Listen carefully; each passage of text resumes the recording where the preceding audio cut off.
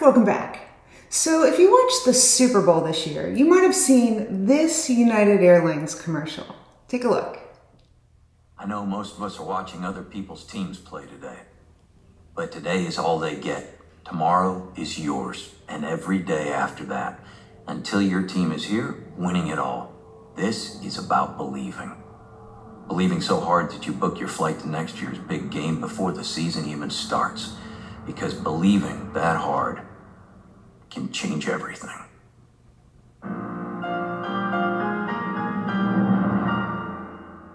When Scott Kirby became the CEO of United Airlines back in 2019, one of the biggest changes he made was getting rid of the change fees during the pandemic. Now, if you travel a lot for business, you know the pain of paying to change your flight. It's just irritating. But it isn't just the pain of paying money, it's also the psychological pain of having no choice.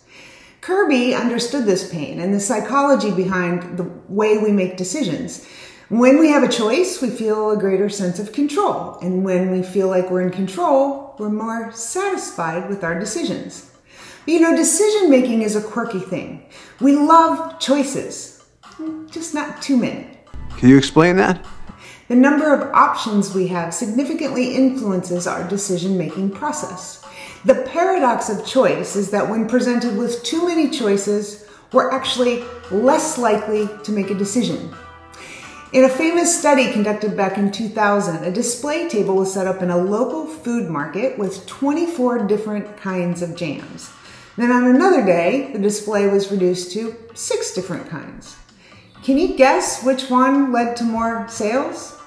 While the big display with 24 jams generated much more interest, people were far less likely to buy than in the case of the smaller display, about 10 times less likely to purchase. I did not know that. Too much choice paralyzes us into not choosing at all, or what researchers call decision avoidance. And decision avoidance isn't just triggered by the number of choices we have, it's also influenced by when we make decisions. So here's an example. Three prisoners appear before a parole board.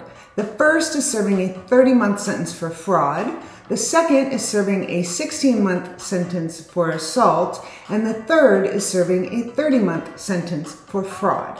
Now, all three prisoners had completed at least two thirds of their sentences, but the parole board will grant freedom to only one. Which one is more likely to get parole?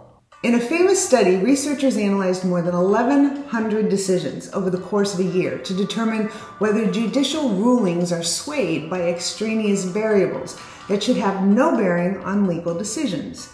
They found that the likelihood of a favorable ruling is greater at the beginning of the workday or after a food break than later in the sequence of cases. Prisoners who appeared early in the morning received parole about 70% of the time, while those who appeared late in the day were paroled less than 10% of the time.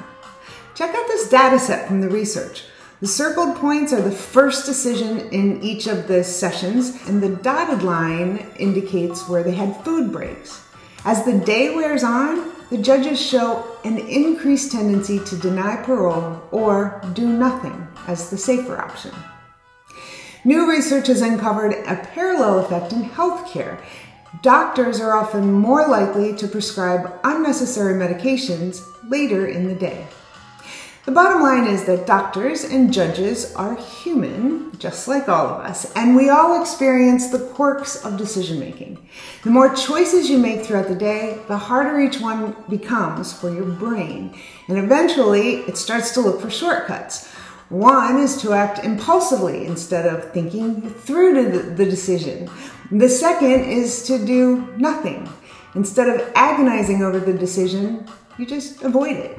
See, we have a finite store of mental energy for decision making and impulse control, and it's impossible to make decision after decision without paying a neurological price. Maybe the best way to make decisions is to know when not to make decisions. That is so cool.